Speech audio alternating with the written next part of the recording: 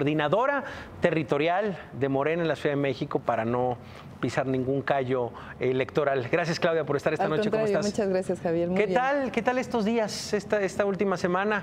Bien, Este, sí. tranquilo. ¿Ya Sí. dormiste más tranquila? No, pues, siempre he dormido tranquilo. ¿Sí? sí. ¿Menos Eh, tensa? Ah, yo creo que todo tiene que ponerse en su lugar. Oye, pues eres, eres la, la- ahora sí que la estrella en este momento del Movimiento de Regeneración Nacional. Por las últimas semanas, muchas fotos supongo en el evento de ayer. Ah, vemos muchas estrellas. La verdad, cada persona que esté en Morena es. una estrella, sí. Bueno, pues ahí está. Eh, Claudia Sheinbaum, eh, la verdad es que eh, queríamos tocar base contigo por, por lo que sucedió la semana pasada.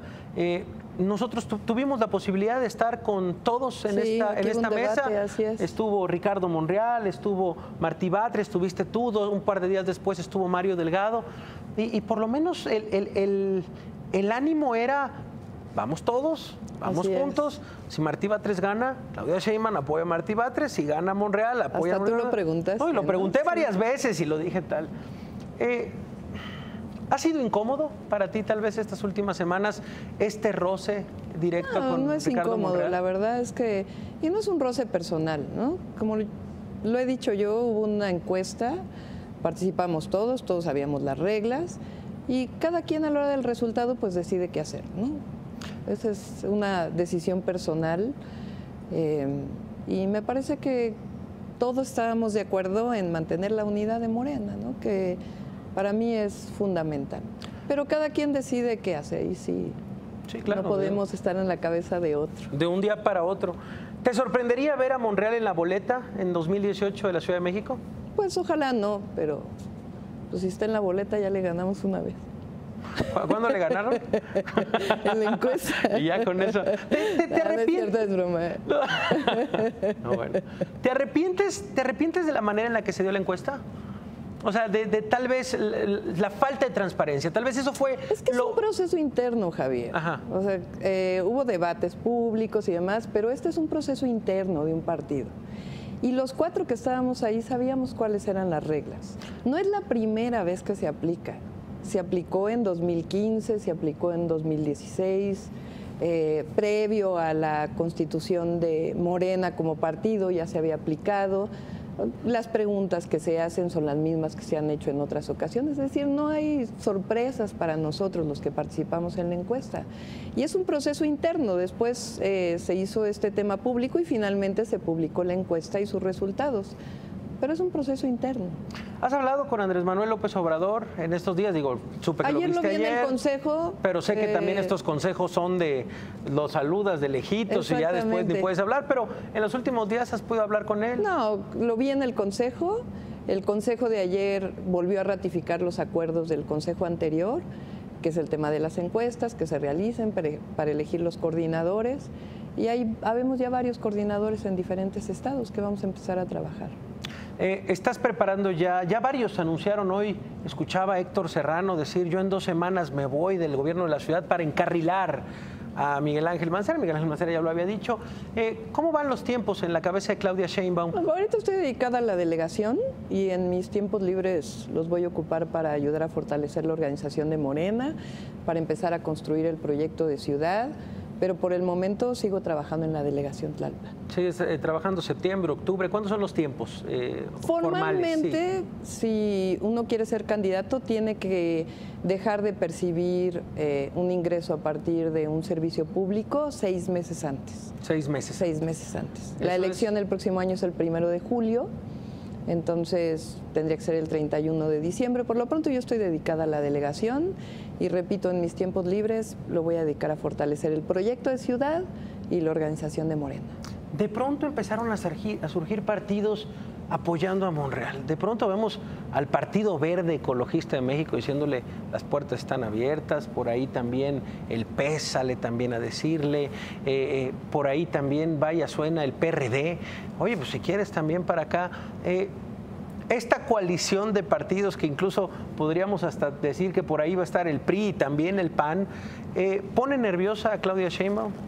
Mira, a mí lo que me gustaría es comenzar a hablar de la ciudad, lo que requiere la ciudad, cómo se construye un programa para la ciudad, cómo fortalecemos las ideas que ya planteamos de la ciudad.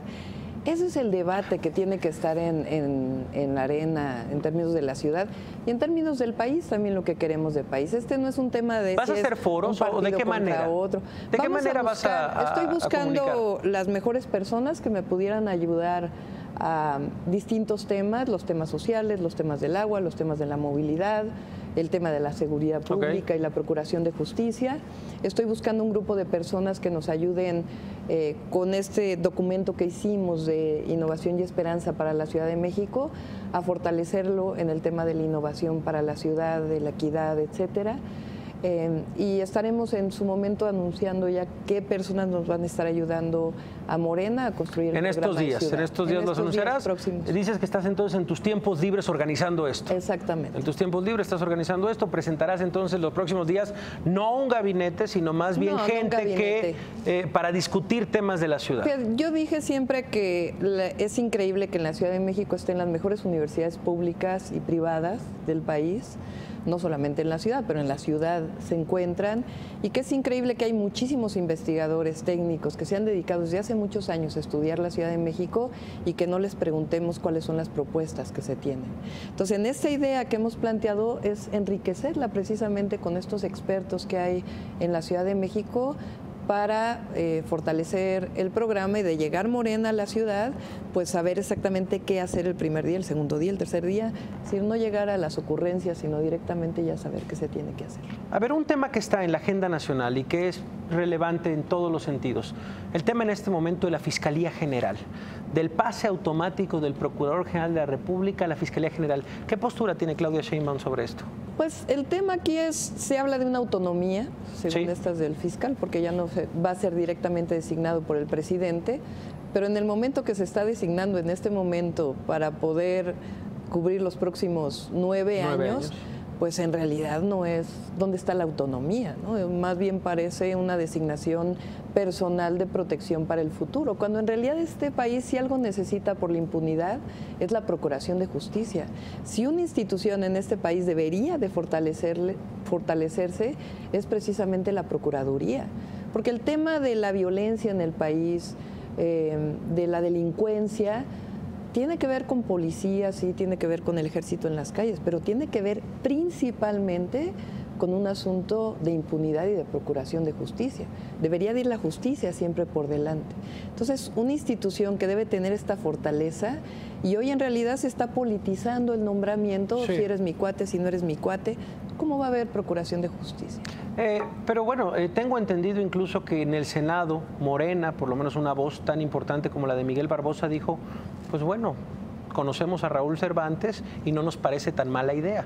Bueno, hay que ver qué dice en realidad la bancada de Morena y qué se opina como partido. Pero tu voz sería la sugerencia, lo que acabas de decir. A mí me parece que hay que fortalecer esa institución. Que en, eh, en contra del pase automático. En contra del pase automático y también eh, buscar... Eh, hoy, hoy en el país, cuando se habla de ciudadanizar una institución, es las cuotas de los partidos políticos, ¿no? Como si eso fuera ciudadano. Y en realidad debe ser una persona pues, de calidad moral eh, que tenga el conocimiento, la experiencia para poder...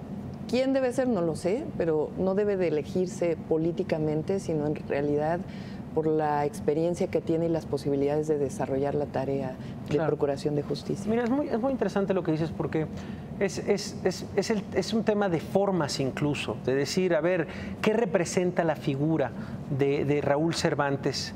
Eh, no solo en el contexto de procurador, sino de fiscal general. O sea, tiene una relación directa con el PRI, un historial con el PRI, tiene eh, amigos cercanos del presidente Enrique Peña Nieto de la campaña. Bueno, ¿de qué manera va a servir?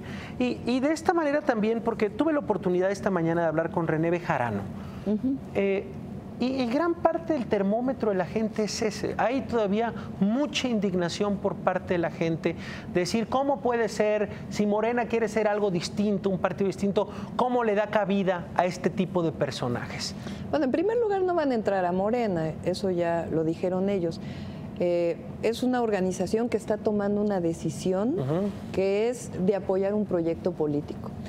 Creo yo que lo que está haciendo Andrés Manuel, y estoy de acuerdo, es generar un frente muy amplio eh, de, de transformación del país. El asunto no es de dónde venimos, sino a dónde vamos. Si en el proceso de inclusión de mucha gente estuvieras tú cambiando la perspectiva de lo que quieres del país, eh, cediendo eh, espacios en esta negociación que se acostumbra de cuotas, en, este caso, más bien lo que se está haciendo es decir, este es el proyecto que va a transformar a México, ¿quiénes están con nosotros en este gran proyecto? Y ahí entra la ministra Olga Sánchez Cordero, por ejemplo, con la historia que tiene. Eh, han entrado panistas, eh, Lino Corrodi estuvo en un evento con Andrés También muy criticado, sí. Muy criticado, pero en realidad es este gran frente amplio que dice, es por aquí, Hoy el país lo que necesita es esto para poder... Eh, no como integrantes de Morena, sino como integrantes a favor de un proceso de un político. proceso político que va a llevar a la transformación del país. De eso se trata este gran frente. Porque sí, sí, la verdad es que hoy en la mañana hablaba incluso con la gente no puede ser el señor de las ligas, ahí está, ¿por qué se santifica con Andrés Manuel López Obrador? ¿Se le permite? Bueno, la explicación entonces es un proyecto político. Es un proyecto de transformación del país todos aquellos, personas con partido, sin partido, intelectuales, artistas, eh, que crean que este es el camino para transformar a la nación, pues adelante, vamos todos juntos. Yo creo que hoy el país está en tal circunstancia, es decir, la gravedad en términos de la crisis de valores que hay en el país requiere una transformación profunda. Por eso Andrés Manuel habla del tema de la corrupción como el tema central. Y yo creo que en eso eh, hay muchísima gente que está de acuerdo con ello y que las cosas tienen que cambiar para que el país tenga realmente paz construida con justicia. Eso es lo que se está buscando. Así que alejada entonces ya del tema de la grilla política, de que quién se va con quién, si va a estar en la boleta, pues ya le gané una vez, que esté, no hay problema. El tema es... Pero yo creo que vamos a buscar la unidad siempre en Moreno. ¿Ya pudiste hablar con Ricardo? No, no he podido hablar con Ricardo. Lo he buscado varias veces, no he podido hablar con él. Ya es una decisión de él. Sí. Eh, pero la verdad es que el deseo es que se mantenga la unidad. Bueno, sí, ahí lo decía López Obrador, oye, todavía está IPEMEX, la Secretaría de necesito varios frentes, o sea, como diciendo, oye, no te nos vayas, pero bueno, pues ya será decisión de Ricardo Monreal. Eh, espero, eh, Claudia, que sea la primera de muchas conversaciones. Claro que sí. Hay mucho que platicar eh, en tiempos próximamente se formalizará eh, la candidatura, eh, es algo que tiene que decidirse todavía dentro del partido, pero bueno, eh, me parece que si quedas o no como candidata ya se verá en el tiempo, definitivamente formas una, una, voz necesaria dentro de Morena, así que bueno, vamos platicando el tema de los foros, claro vamos platicando el tema de los foros cuando ya armes al equipo y, vamos porque al final, vaya, se va a dar espacio tanto a ti como a los demás candidatos, escucharlos, ver hacia dónde va en esta, en esta Ciudad de México que pues está entrando en una etapa de socavón. Ya veremos. No hay ninguno en Tlalpan aún. yo creo que no, por lo pronto no. Por lo pronto pero eh, yo creo que lo importante aquí es discutir el proyecto de ciudad. Es lo más importante. ¿La página cuál es? Donde la, la gente puede revisar. Innovación y Esperanza está en mi página de Facebook, que es mi nombre, Claudia Sheinbaum Pars. Y a través de Twitter también tú las... Arroba Claudia Shein. Ahí está. Claudia Sheinbaum es la eh, coordinadora de organización territorial de la Ciudad de México de Morena. Así es. Algo así. Ahí está.